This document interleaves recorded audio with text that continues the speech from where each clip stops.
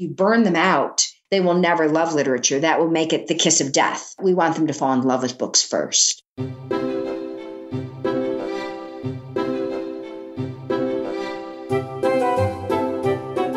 You're listening to the Read Aloud Revival Podcast. This is the podcast that inspires you to build your family culture around books.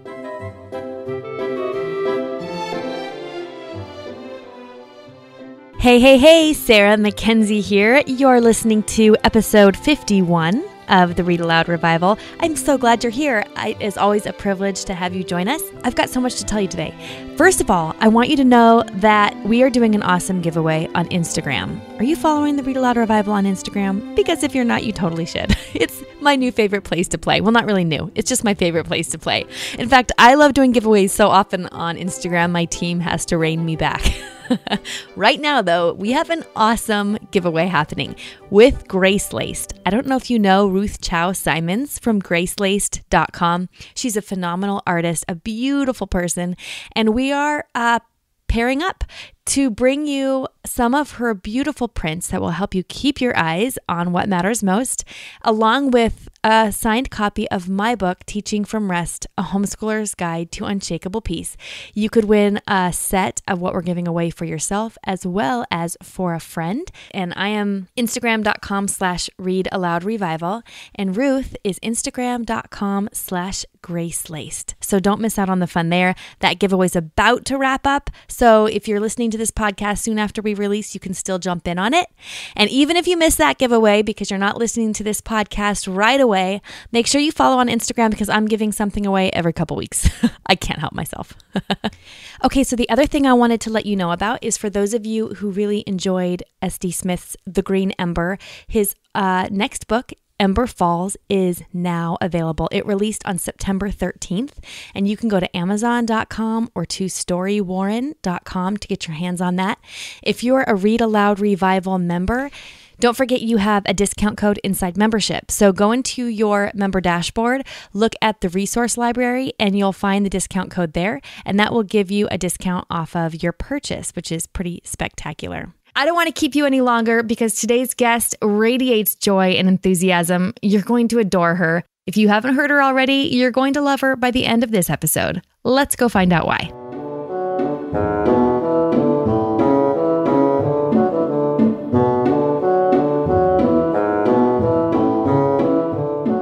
Today's guest first joined us on episode 22 of the Read Aloud Revival podcast, and we have heard from so many of you that she put your hearts at ease. I am thrilled to welcome back Carol Joy Seid. Carol is a well loved speaker and consultant who helps parents make homeschooling and raising children simple, enjoyable, and affordable. She has a Bachelor of Arts in Fine Arts and a master's degree in education and has taught in preschool, elementary, and junior high classrooms in both public and Christian schools. And of course, she's a veteran homeschooler. At the heart of Carol's educational philosophy is a simple idea books, books, and more books. And today she is joining us to talk about the golden age of children's literature. Carol, thank you so much for joining us again. We are thrilled to have you. Oh, I'm more thrilled to be here. Thank you, Sarah. Well, refresh our memories a bit, or for those who haven't heard episode 22 yet, and tell us a bit about your family and your work.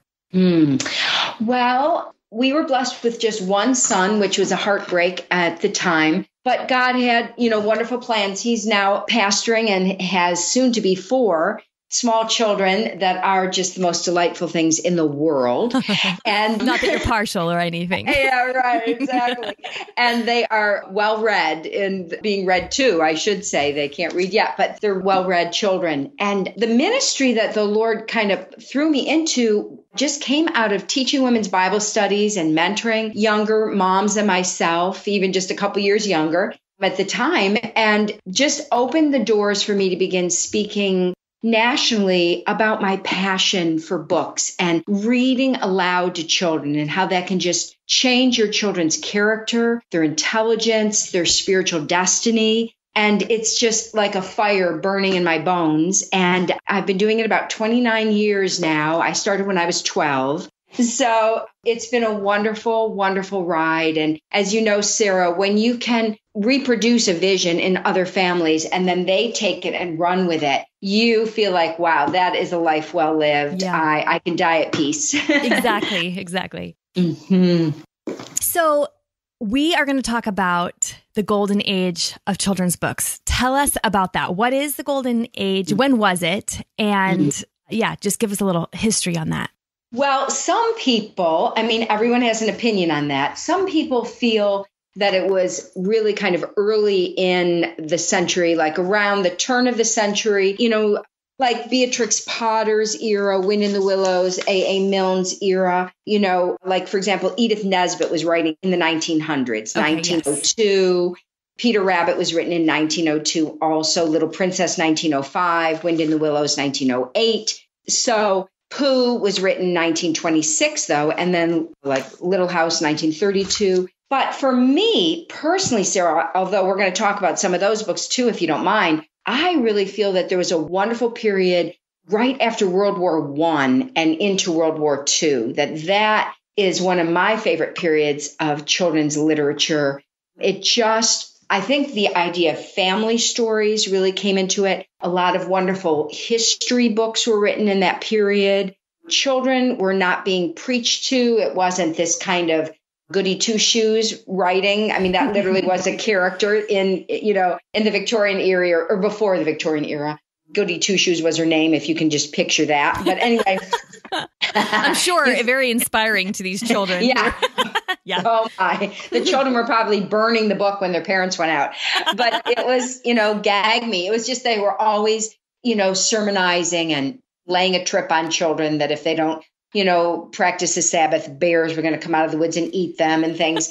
and so, you know, that was the early years of childhood writing for kids. And then, you know, someone like Louisa May Alcott came along during the Civil War and wrote a book that treated children with respect, as Charlotte Mason would have been so happy about, that she treated children as though they were intelligent and uh, were not to be spoken down to. And so she really changed the era and the way that people wrote children's books. Louisa May Alcott really did that. And it came out of her father's philosophy, Bronson Alcott. And he was friends with Thoreau and Longfellow and everybody. And they all lived in Massachusetts together.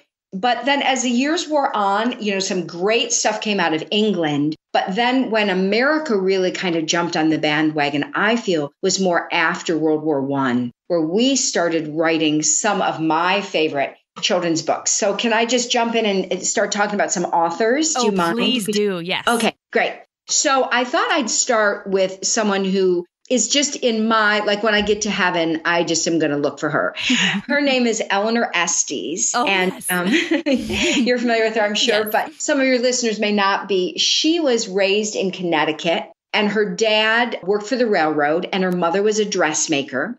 And when she was a married woman, she got tuberculosis and was bed, you know, she was put to bed basically. And during that time, she wrote a book about her own childhood, really, and but did it in such a creative and zesty way. And that was the, her first book, and it was called The Moffats. And it was based on her childhood. She set it in a fictional town called Cranbury but she based it on her life, her brothers and sisters, and her mother being a dressmaker, and her dad died when she was a little girl. So, really based on her own childhood. I didn't realize it. W- I love that book, but I did not realize it was based on her childhood. How incredible. Isn't that great? Yeah, mm-hmm. I love knowing little details like that and telling children because children, the th- number one question they always ask is what? Is this true is this or true? is this real? Yeah. Uh-huh. Right. So I love when we can give kids some information about the authors and the illustrators. It makes it more personal, you know, for kids. So she wrote a series of books on the Moffat family, and my favorite is The Middle Moffat, that I consider one of the greatest childhood books of all time. But the book that I think really stands out in terms of being a groundbreaking book is her book, The Hundred Dresses, mm-hmm. where she talks about what we would now call maybe bullying or a child peer pressure or being, you know, dependent, you know, Urie Bronfenbrenner, you know, talks about kind of that teen that dependency going down to the preschool level, you know, that we make when children are around their peers more than their parents, mm-hmm. what happens. And that kind of Urie Bronfenbrenner calls it social contagion that takes place from you know peer pressure even down into the preschool level and that's really what the book is about and it is the most beautifully written simple profound book so I love her. She won the Newbery Award. As so often happens, Sarah, a lot of times an author wins the Newbery Award years after she should have or he should have. And so I think she won it for Ginger Pye, which is a darling book, but she should have won it for The Middle Moffat, in my opinion, or The Hundred Dresses. But sometimes you earn a medal just out of honoring you at, for your lifelong accomplishments. Interesting. Okay, yeah, that's yeah. good to know. That that makes a lot of sense when I kind of yes. look at Newbery mm-hmm. awards and think, well, their other book was better than this one, even. Exactly. yeah, yeah. because maybe they weren't that aware of it back then, but then it rose to the top. And they're like, wow, we kind of missed it. So then they start to pay attention to that author. I so is a Newbery, this is a good question I bet a lot of our yeah. listeners have too, which is, is a Newbery Award, is it only for books that were published like that year?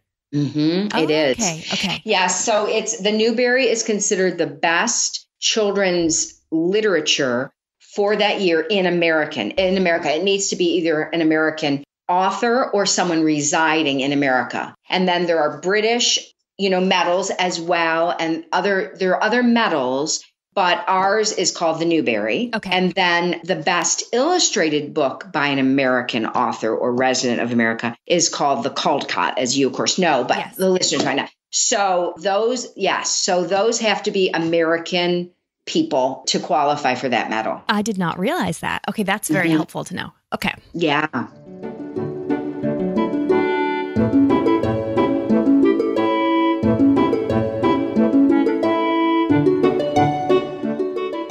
So let me jump to another author who I adore as well. And her name is Lois Lenski. Mm-hmm. And I am just in love with her. There's just no other way to describe it.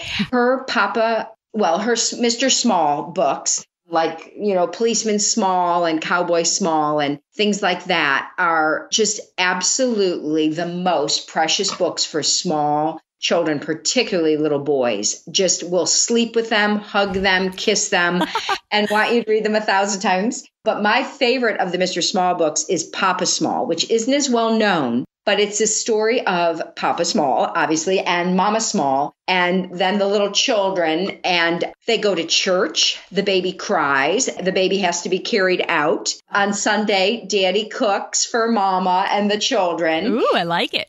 mm-hmm. and, and, they all help, you know, uh, which is right up my alley in terms of my whole idea of work and service. And it is the most precious, precious book and probably a little bit harder to find. Some of her books are very, very pricey, you know, to find them used, but see what you can do. But what she's best known for, Sarah, as I'm sure you know, are her regional books. So Strawberry Girl, yes. Cotton in My Sack, Bayou Suzette.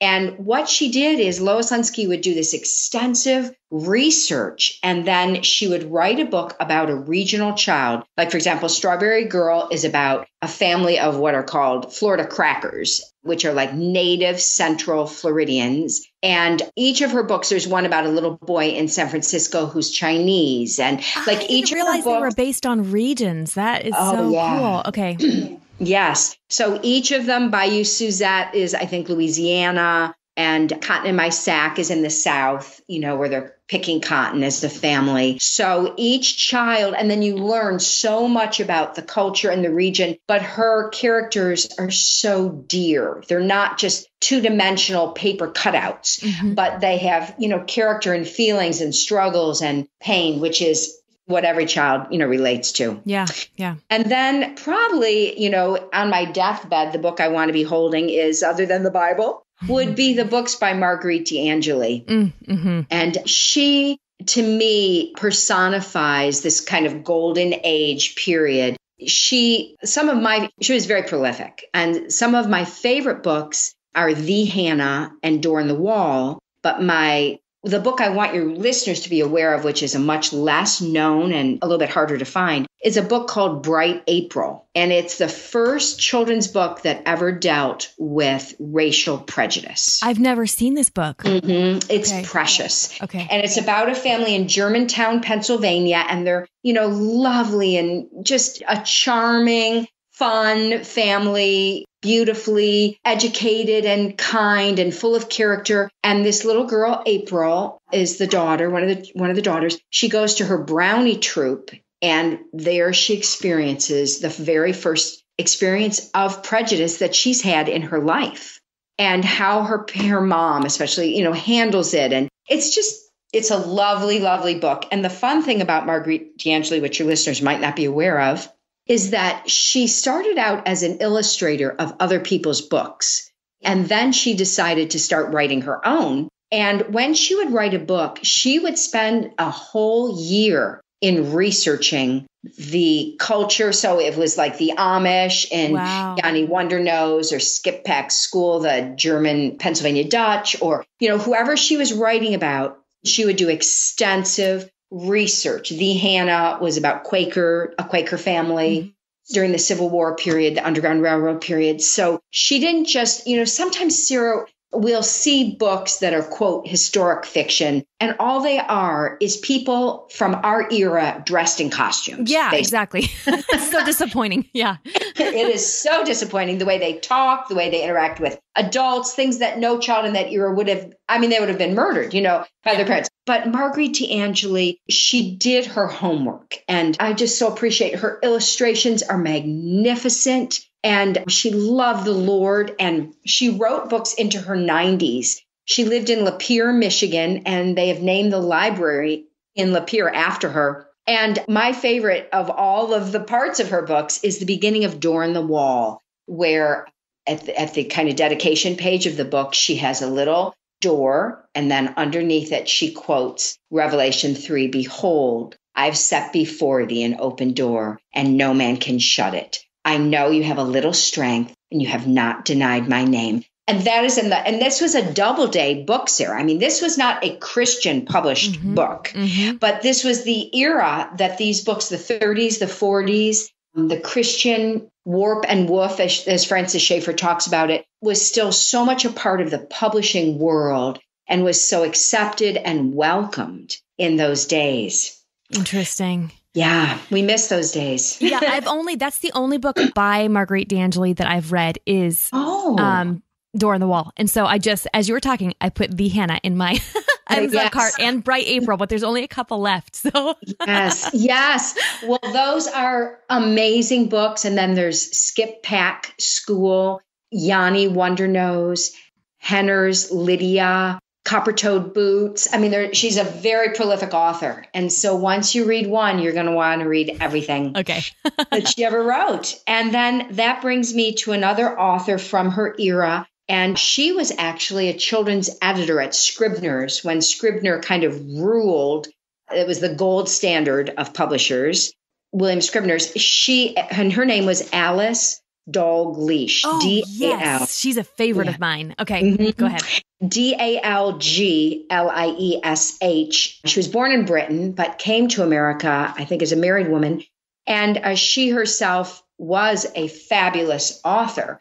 And she's well known for her book, Bears on Hemlock Mountain, mm-hmm. because I believe that won the Newbery. But I love her historic books. So the Fourth of July story, the mm-hmm. Columbus story, that type of thing. She just wrote history in such a simple, clear way and, you know, that just brings me to a whole nother principle, and that is I read older books when I'm, you know, reading old history because they tend to be more idealistic, more edifying, more uplifting. And a lot of the living authors, they tend to want to show the warts and the flaws of historic people. And that's fine when you're an adult. But when you're, you know, five years old or seven years old, I think it's very, very important that you just have some. And I think even as adults, Sarah, you and I, we need heroes. We need heroines that we can look up to, and our children do as well. You're and right. so I love these older books because they are, they're just simple and they're sweet and they're positive. That reminds me of something, and I just grabbed it to see if I could find the quote. It's in Anth- Have you read Anthony Esolen's 10 Ways to Destroy the Imagination of Your Child? I have heard of that book Okay. and it sounds wonderful. It is. It is totally wonderful. Um, of course, it's written as a satire, so the whole time you're kind of like scratching your head, like, wait, you kind of forget which viewpoint you're supposed to take. but one of the chapters is called "Cut All Heroes Down to Size," and he talks Oh. about how we destroy our children's imagination when we build in them this habit of sneering at what is great or noble, and how Ah. here it is. Here's the quote. The really effective killer of the moral imagination will want to raise children who snicker at anyone who possesses a remarkable virtue. And he talks about that kind of modern habit we have of wanting to focus on the hero's faults instead Yes. of using their strengths to as something to aspire to. So Yeah. yeah. Yes. Oh, I love that. That I couldn't have said it better. Yay. Yeah. Well, let me share another team that do exactly what we're talking about. Okay. That is Ingrid and Edgar Parin d'Aulaire. Very long names. Mm-hmm.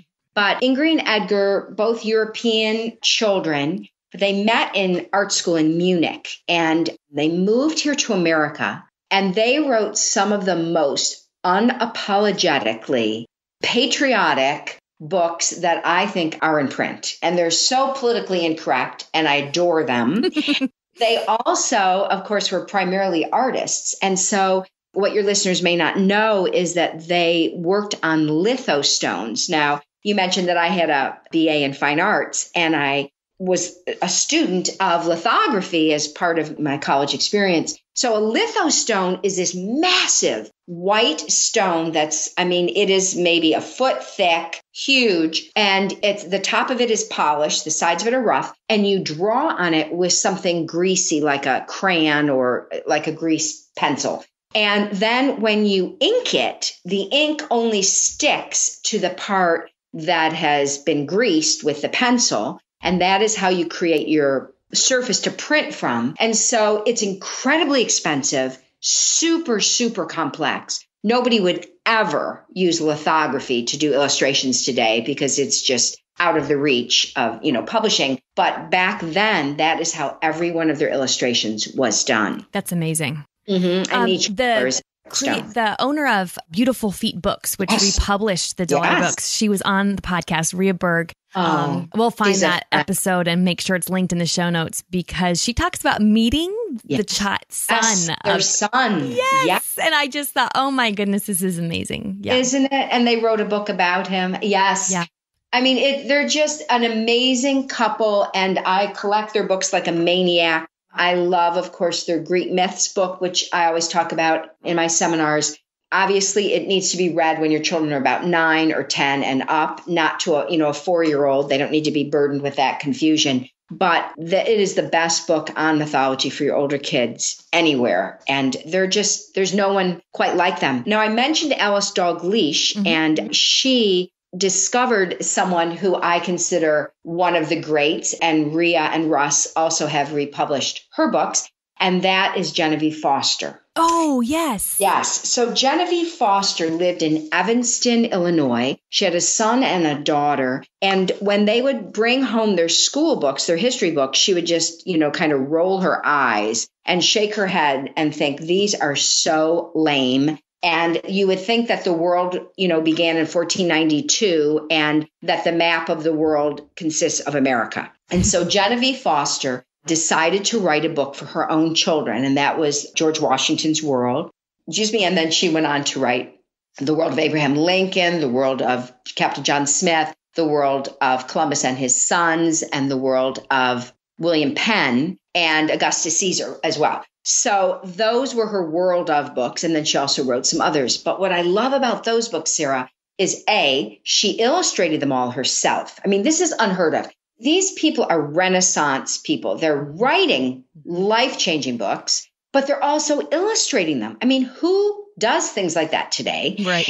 and what she did, Sarah, as I'm sure you're well aware of, is she brought in the entire world's history. So she would use a famous person, let's say Abraham Lincoln. Okay, here he is. He's being born in his little, you know, soddy or log cabin. And then this is going on in his life. But then this is going on in France and this is going on in China and this is going on in Africa. And she goes on, okay, now Abraham Lincoln is walking and putting pranks on his, you know, precious stepmother who was so good to him. And and this is going on in his life, but now this is going on in England and this is going on in Germany. And so she gives you this world view and she uses a famous person as the springboard to do that. So it gives you kind of a framework. This is his lifetime, but the world doesn't revolve around the United States. I love this so much because I think it's so refreshing when I'm reading with my kids about history to paint a picture of the whole world and then it also makes more sense as to why was this happening? You know,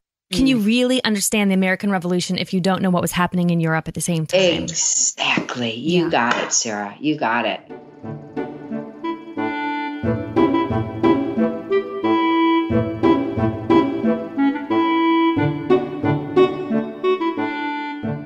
So, Sarah, I thought it would be great to talk about Howard Pyle, who to me is kind of the gold standard of American illustrators. And his life and work is really the cornerstone of what many people call the golden age of children's literature. So he was born in Wilmington, Delaware, and his mother read them classics, folklore, mythology. She bought beautiful books for her children with fabulous illustrations and really exposed them to a lot of British, you know, publications. And he drew his whole life. Like in his school books, he would draw in all the margins. And he went to a he went to a Quaker school and then he studied art in Philadelphia and he wrote his first book in 1876. But he wrote his book on Robin Hood in 1883. And when he designed a book, he designed the typeface, the binding, the illustrations, and the text, and then wrote the book. Can you? Wow, I mean, a total Renaissance man. Yeah, yeah. It's I can't amazing. even imagine the scope of a project like that. I can't either. I yeah. mean, so some of his books, which our son just loves so much, things like The Wonder Clock and Salt and Pepper, and then of course he did all the King Arthur books, Robin Hood. But my favorite is Otto of the Silver Hand. Mm, yes. Which I consider his masterpiece. But in addition to being an incredible contributor to, you know, the annals of children's literature, he started an art school. And at his art school, and some of the students that he influenced are some of the greatest illustrators of all time for children. One is N.C. Wyeth, who is Andrew Wyeth's father and Jamie Wyeth's grandfather. Okay. And N.C. Wyeth homeschooled all of his children and his grandchildren. And he would dress all of them in costumes and make them pose for his illustrations. He always drew from models and he had these fabulous, fabulous costumes that he collected, you know, all through his career. and then, and then Maxfield Parrish, who is probably not as well known today, but was considered one of the greatest illustrators of all times. Okay. And then my beloved Jessie Willcox Smith, who I have always used as kind of my trademark. So all of these people studied under Howard Pyle at his school, and it was called the Brandywine School, and it was in Pennsylvania, and huge contributor to what we consider the greatest children's illustration period, the, that golden that golden age. Another author I wanted to talk about, who is also a fabulous illustrator, is James Daugherty. That James does not. I don't think it's familiar really? to me. Maybe James I recognize the art. Okay, yeah. Yeah, yeah. So James Daugherty has written some historic biographies, like one on Daniel Boone, one on Ben Franklin. But the one that I just love the best is Andy and the Lion. Oh, which yes, is yes. The story of Andrew, Androcles and the Lion. And he was an illustrator that I feel every little boy will connect with and relate to because his illustrations feel like they're going to jump off the page and punch you in the nose. they are so full of masculinity and power and energy, and they're just delightful, is the only way that I can describe him. And he was a wonderful, wonderful writer. And children, especially boys, I always recommend James Daugherty's books for boys. Oh, the Magna Charta. Yes, I'm looking at That's them online right. now to figure it out. Okay, That's yes, right. I do recognize his work. Yes, exactly. Okay. So his books are great. His illustrations are superb. And then an Asian artist that I just really feel so fond of is a gentleman named Taro Yashima, Y A S H I M A. Okay. And he's best known for his award winning book, Crow Boy, but he also wrote the sweetest book about his daughter named Umbrella. The book is named Umbrella. And it's a story of a little girl who is given an umbrella and some rubber boots, and they live in a city. And for some reason, after she's given these gifts, it never rains and her name is Momo. And every day she looks out the window, hoping it's going to rain, and you know tries on her boots and walks around with the umbrella in the sunshine. and then you know one day finally it rains, and it's a story of her daddy. You know, and he picks her up. I believe it was from the library, and they walk home together in the rain. She with her boots and her umbrella, and the daddy, who's the narrator, says. It was the first day that Momo didn't hold his hand. Oh. It was like a rite of passage and kind of, you know, a daddy and a daughter. And Yashima's illustrations are so sensitive, so brilliant. Crow Boy, again, is about that peer kind of bullying, rejection, not fitting in. And it's about a little boy in Japan who lives way, way out in the country, in the mountains. And all of the city students kind of think he's, you know, kind of a loser but they get a new headmaster who realizes the amazing gifts and talents that reside in this little boy. And he can imitate all the different calls of the crows that live in the mountains. Mm. And at the end of the school year, the teacher asks him to come up and perform. And all the children are like, That loser? And he gets up and they're just wowed. They're just mm. bowled over by his gifts and his abilities, and they see him in a whole different light. And it's just so helpful as we're building character into our children. These are the type of books without, you know, making a sermonette out of it and getting all annoying with our teacher voice, but just letting the Holy Spirit work in our children's lives. And as Charlotte Mason used to talk about, treating our children with respect knowing that they can figure things out for themselves. You don't have to chew it up and, you know, pre-digest it for your children. But she said, leave your children alone with great authors. And anything else would be to uh, exert undue influence. Like just leave them alone. Don't analyze, don't dissect, don't make school out of books. Save that for college. If they're raised loving books and loving you know, authors and illustrators, when they get to college, trust me, they will ace all of their literature courses. So many people think, well, they won't know what to do. No, it's just the opposite. If you burn them out, they will never love literature. That will make it the kiss of death. But if you let them fall in love with literature, when they get older, they will be able to do all that, you know, mindless stuff that, you know, we do in college. And it's fine but we want them to fall in love with books first. So good. Oh my goodness, that's solid gold right there. yeah, thank you. And then may I talk about one last author and then Yes, know, we... I would love yes, absolutely. All right. So the last author is someone who is very, very near and dear to my heart. And the reason is that, Sarah, I was raised in a non believing home and I was not read to ever in my whole life.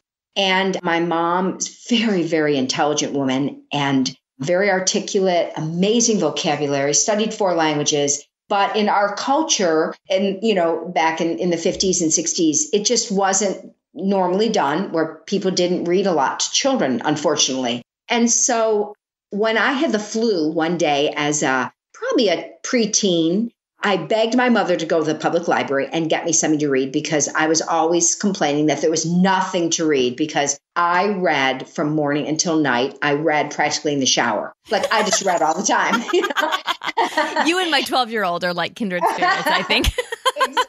exactly. If she could figure out a way to read in the shower, she would. I know. Would you tell her we need to talk because we need to figure this out? But anyway, so my mom came back from the library where she had gone under duress because my mother didn't go to the library for herself. She came back with this green book, handed it to me, and said, This is a book I read when I was your age. And I thought, oh my word. I mean, this wasn't, you know, we didn't have literary conversations. So I began to read it and I fell wildly in love with the book. It was so, I read constantly, but I had no guidance. I would literally go to the public library and just read the whole section of B, and then I'd read the whole section of C. I mean, and these were adult books. I was so not reading appropriately, but I just read all, you know, I couldn't get enough. I was like a starving Armenian. So, having said that, when I read this book, after reading the dribble that, you know, who knows what I've been reading, it was like someone finally gave me, you know, my first glass of real water. And uh-huh. so it went back to the library. And that's why it's so important to own the right books because it went back to the library. And the rest of my life into my adulthood, I was searching for this book. And I would say to people, well, this girl lives really far away from school and she has a lunch pail with a custard cup. And they would look at me like, we don't know what you're talking about. And so one day I was reading Edith Schaeffer and she was talking about some of her favorite books. And she mentions this book, Girl of the Limberlost. And I just screamed and I said, that's the green book. And I drove to the Newport Children's Bookshop in Newport Beach that was owned by a woman who you would have loved. Her name was Sarah Brandt. It's, of course, no longer there. But I drove there at 90 miles an hour. They had a copy of it. I brought it home. I felt like I was reconnected with my twin who I'd been separated from birth. Oh. Oh, it was such a wonderful experience. So then I was told by a friend years later, I, we were talking about books, and I said that that was my favorite book. And she said, Well, have you read Freckles? It's even better. And I kind of went, Excuse me, but there is nothing better than Girl of the Limberlost. So then I went to our library, and of course, they didn't have room for these books because they have to have, you know, really important people like Danielle Steel. And so, you know, they didn't even exist in our library. And I went on these massive searches. And by the grace of God, you know, University of Indiana has begun, began then at that point to reprint her books. So the author I'm talking about is Geneva was really her name, but she, her pen name was Gene, G E N E, Gene Stratton Porter. Yes. And she lived in Indiana and they she really started her career as a photographer and a writer of nature books. But her publisher was frustrated that her books really didn't sell very well. And so she started to write fiction, for which we are all so grateful. And she combined nature in all of her books. So she kind of hid that spoonful of sugar, you know, the medicine and the spoonful of sugar, I should say. And she wrote some of the best selling books of her era anywhere. And they 10 of her books were made into movies. She was extremely successful and popular, and all of her books. I can remember recommending Laddie to someone, and they said to me, I felt like I had gone to Sunday school after I read that book. I was so mm. edified. I was so blessed. And yet there's no preachiness. Gene Stratton Porter was the baby of 13 children, and her father was a farmer, but he was a man of the word. And he memorized the entire Bible and he um, yes the entire bible. And he would be invited to speak places and he would say to them well i've memorized all of scripture except the begats. Uh, he said those are just not worth my brain power you know to to memorize those. Yes. right. So he would be invited to a church and they would say first timothy and bam or second samuel and off he would go and he memorized the whole thing. And when she was a little girl she was the baby in the family of a big farming family her father told her mother, I want you, she's kind of high strung or she's very sensitive. I just want you to let her run wild like a little lamb. And so, even though the other girls were forced to sit inside and sew and do things like that, Gene Stratton Porter, Geneva, was just allowed to run in nature. And she had an older brother, and his name was Laddie. And so she, he was tragically killed, I believe, in a car accident. But she wrote a book about her childhood, which is Laddie, and it's autobiographical. And then I consider her all time masterpiece to be Keeper of the Bees, which is the only one of her books set in California. She eventually moved to California to write in, for Hollywood, and she was sadly killed. I believe it was in a train accident. Oh, sad. Mm-hmm. But I have gone on record recommending to families that if they have to pay their children $100 to mm-hmm. read her books, it will be the best money you ever spend. They are life changing, character building books. And I read them over and over again, which to me is the test of a good book. I read yes. the same books over and over again. Over again.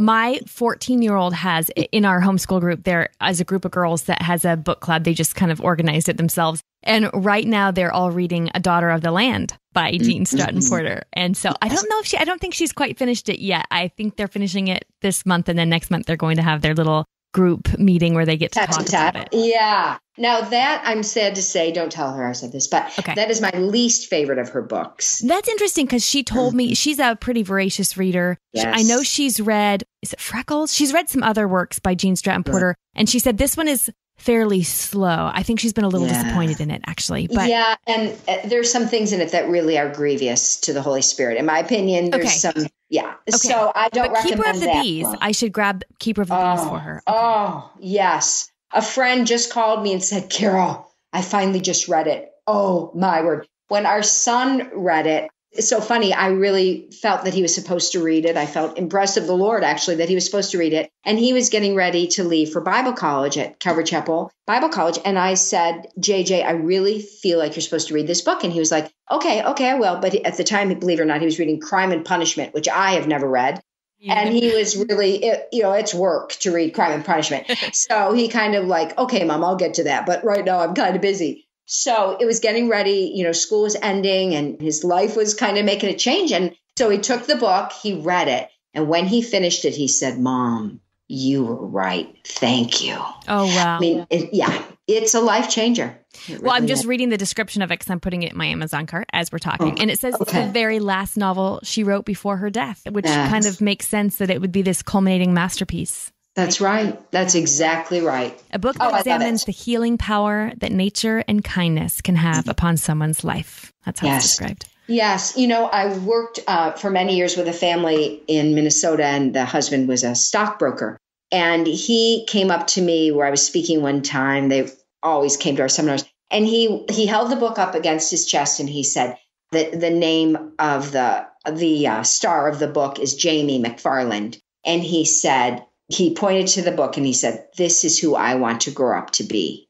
Oh, wow. And then at Christmas time, he asked me to send him a case of those books to give to everyone in his stock brokerage firm. This is the thing. I mean, she is a master, truly a master, but it's a character. This is what character looks like, is what I could say over each one of her books.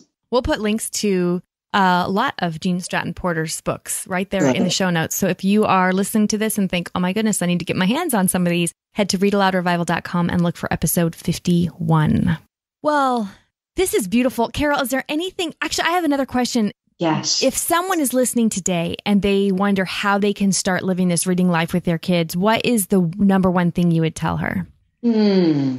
Well, the number one thing I tell her is to unplug her family because as long as electronics are competing for your children's heart and mind, you're fighting a battle that you probably will never win.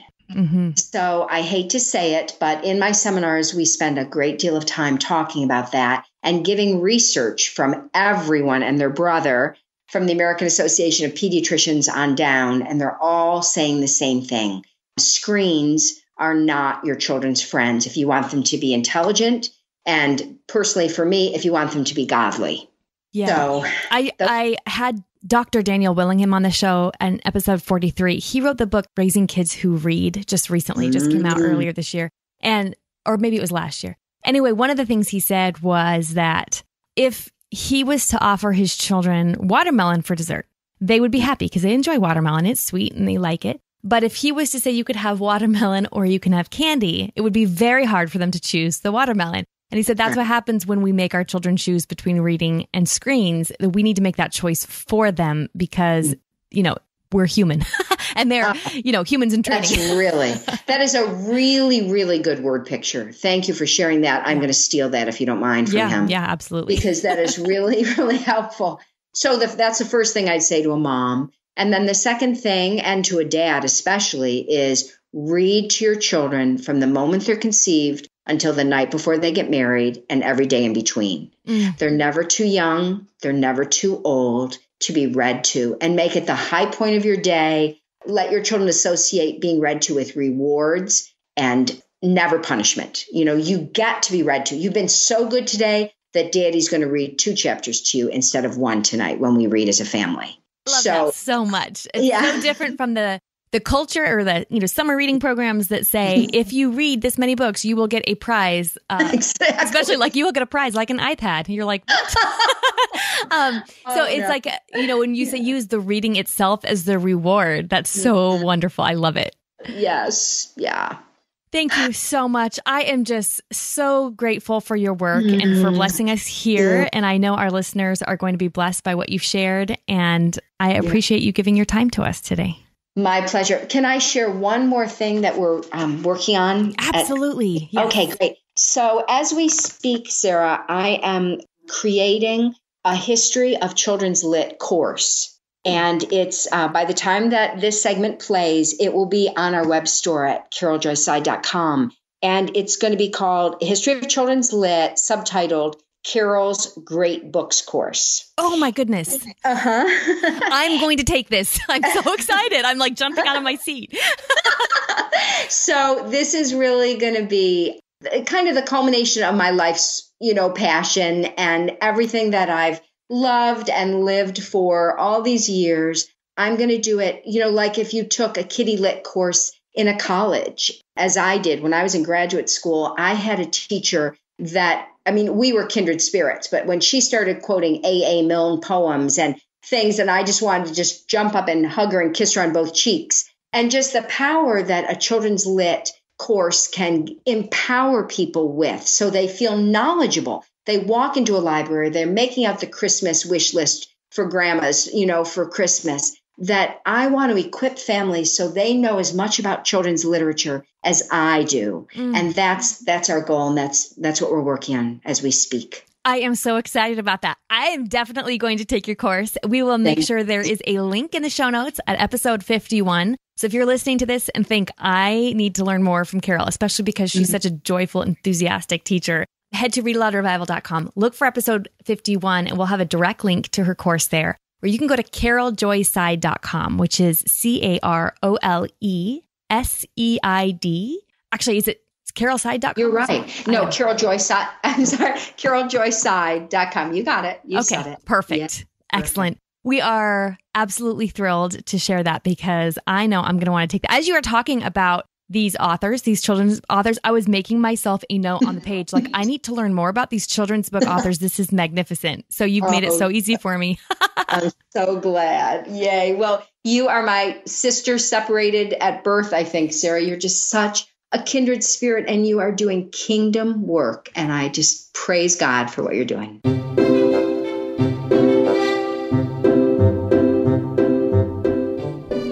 Now it's time for Let the Kids Speak. This is my favorite part of the podcast, where kids tell us about their favorite stories that have been read aloud to them. My name is Sophia, and I'm three years old, and I'm from Missouri, and I'm three years old, and my favorite book is Runaway Hug. Annie the dog that gives a peanut buttery hug. That's my favorite part. Hi, my name is Jonah, and I am seven years old. I live in Louisville, Kentucky, and my favorite book that I like to be read to is called The Case of the Missing Rubber Ducky by Linda Hayward. My favorite part is the part where Sherlock Hemlock gets the rubber ducky mixed up with the rubber ball, the rubber glove, the rubber rafts, the rubber stamp, and Bert's rubber band collection. I am Felicity and I'm nine years old and I live in the sweetest place on earth, Hershey, Pennsylvania. I would like to tell you about the water horse. The water horse is about two children that find an egg. Turns out to be a water horse egg, and they have great adventures. I would also like to tell you about the Willoughbys. The parents and the children don't really prefer each other, but don't be worried. It's very funny and it's comedy and it had a very happy ending and it was my favorite read aloud of this year. Thank you. Goodbye. Hello, my name is Mercy and I'm five years old. I live in Hershey, Pennsylvania, and I like the Moffats. I like the beginning chapter and the last chapter, and also one of my other favorite chapters was the chapter with the kitty. I also like the water horse. It's about these two kids that live by the ocean. They find this egg and it turns out to be a water horse egg. A water horse is kind of like the Loch Ness monster and it is a sea monster and they have tons of happy adventures with it. And we read it in one day. Hi, my name is Edward Bolton. I am seven years old and I live in Alberta, Canada. And my favorite book is The Green Ember because of all the excitement and the adventure that Picket and Heather have. Hello, my name's Charity, and I'm from Florida, and I'm eight years old. My favorite book is Misty of Chincoteague, and I love and when he jumped out of the boat and swam to keep the her up and have air, so she wouldn't sink in the water. And I also love about it. After the book, I had a dream about Misty and the Phantom. Hello, my name is Sarah. I'm nine years old, and, I'd like to tell you about the Green Ember. The Green Ember has great characters, and Piggy at first he's a scaredy cat, but he saves someone. But I don't want to tell you because I want you to read the book. Hi, my name is Lucy Boyd. I am 10 years old and I live in Chicago. My favorite book is Smile by Raina Telgemeier. My favorite character is Raina. I like her because she has a little sister just like mine. My favorite part in the book is when she's getting ready for high school. My name's Alec. How old are you? Three. You're three? What's your favorite book? Mike Mulligan and the Steam Shovel. Mike Mulligan and the Steam Shovel? Why do you like that book? Because it has the steam shovel in it. What's your favorite part? Favorite part is they, they go home. That they dig a hole. Thank you for your messages, kids. I love those. Your kids can leave their own message for the podcast at readaloudrevival.com. I bet you'll be surprised at just how easy it is to leave that message. You can do it from your phone, your computer, your iPad, just about any device you want. It's as easy as the click of a button. Thank you so much for joining me today. This has been fantastic. Hey, don't forget to go to Instagram to follow the Read Aloud Revival and Grace Laced so you don't miss out on our awesome giveaway and all of our upcoming giveaways as well.